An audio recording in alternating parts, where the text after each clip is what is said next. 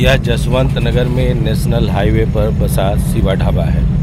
मालिक रणवीर सिंह यादव और नाता शिवपाल सिंह यादव से बताया जाता है। ऐसा हम नहीं, ऐसा ढाबे पर काम करने वाला यह आदमी बताता है।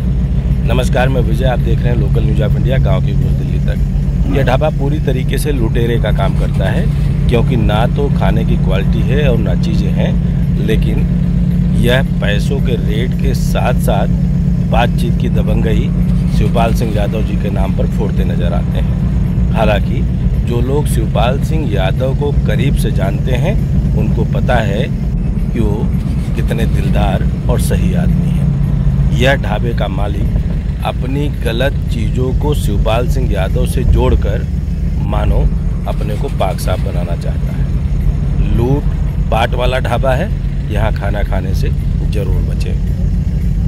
सड़क के किनारे बन रही अकूत बेनामी संपत्तियों की जानकारी उत्तर प्रदेश के मुखिया योगी आदित्यनाथ को ज़रूर होनी चाहिए और फ़ूड डिपार्टमेंट को भी, क्योंकि इतने अच्छे इंफ्रास्ट्रक्चर वाले ढाबे किसी न किसी काली कमाई या किसी की गाढ़ी कमाई के बाद ही बनते हैं।